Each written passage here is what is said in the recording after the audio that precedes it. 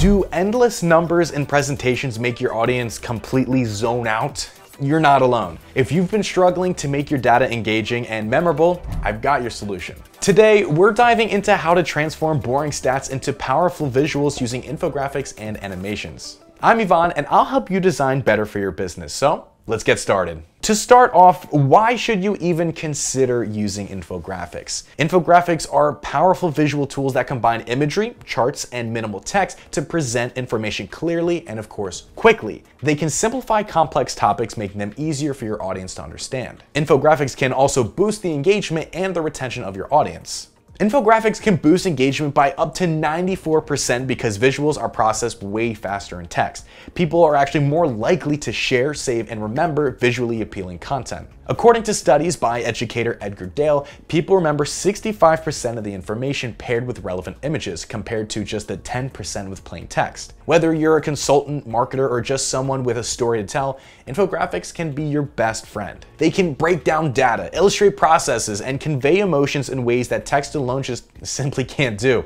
Animation breathes life into your design. It grabs attention, enhances engagement, and makes complex information more digestible. But why should you use animations in your presentations? Well, animated elements capture attention in a way that static graphics just can't. They add a layer of dynamism that encourages viewers to stop scrolling and take notice.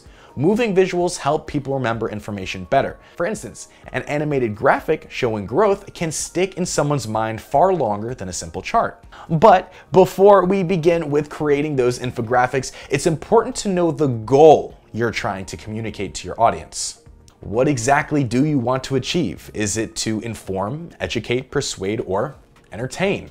Clearly outlining your goal will shape your entire infographic. Determine the main point that you want to convey. Keep it focused to avoid losing your audience's attention. Look at your content critically. What in your content can be visualized. Infographics thrive on visual storytelling, so think about how to represent your data and messages visually. Infographics are visual representations of data that tell a story. They are inherently more engaging and memorable than plain text, so be clear about your goal and the key message itself. Once you've defined your purpose, it's time to create an outline. Organizing your information logically helps visualize your final product. This ensures a balance between text and visuals.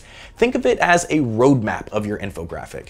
Focus on the most important information. Eliminate irrelevant details that could confuse or distract your audience. But before you hit publish, consider the legal aspects of using images and data. You should always secure permission to use copyrighted images or data. Using someone else's work without consent can lead to pretty serious legal issues. We actually have an entire video about how to use copyright photos, which will be linked above and in the description. You also want to properly credit your sources, whether it's a statistic or an image, always provide attribution. Familiarize yourself with copyright laws. For most purposes of education, they can fall under fair use, but this isn't always the case.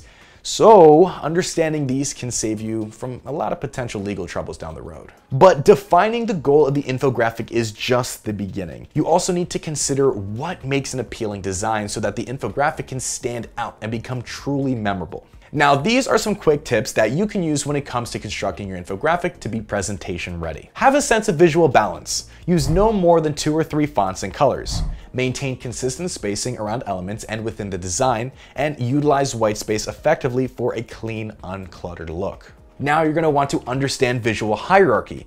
Prioritize elements based on importance. Use larger font sizes or titles and headers. These guides the viewer's eyes through the infographic naturally. And choose colors wisely. Select colors that match your brand or evoke the desired emotions. Limit your color palette to just two or three complementary colors. And please, oh, please use high quality images. Always opt for high resolution images for a professional and clean look. You'll want to avoid images without proper permission, so instead choose royalty-free images or create your own graphics. When you design in Visme, you don't have to worry about any of that because we have millions of licensed high-resolution images and videos. Nothing is worse than going through a presentation and seeing a grainy low-resolution JPEG. It kills the immersion of the presentation. Ultimately, infographics are meant to visualize data in interesting and unique ways. Data visualization is key when presenting information clearly. So here are some tips on how you can do it effectively. Utilize charts, graphs, and other visualization techniques to present data in an appealing way.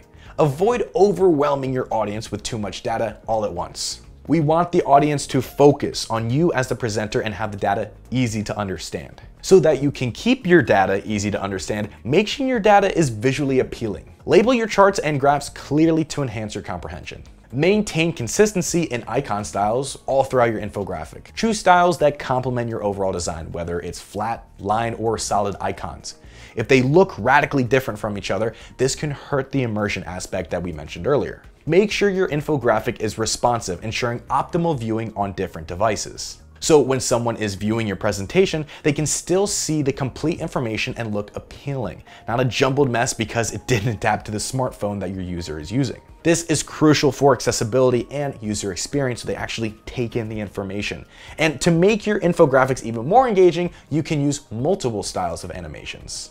You can use illustrations, characters, and you can even use animated characters that actually make gestures to make the infographic even more interactive. Even think about using special effects like fireworks or little particle effects to add some flair to your presentation. Have charts and graphs animate in and out of your presentation or even build into each other so that information can be easily processed as you continue your presentation. Or if your audience is following along, they can click and pop up whatever the pace they want to use and digest the information at their own leisure. Which takes us to one of the key aspects of design that we will likely remind you of in every single video. Keep it simple. Simplicity is key when it comes to effective infographics. You really want to avoid bombarding your audience with too much information. Focus on the essentials. You don't need 12 graphics on the screen just to show people how much effort you put into it.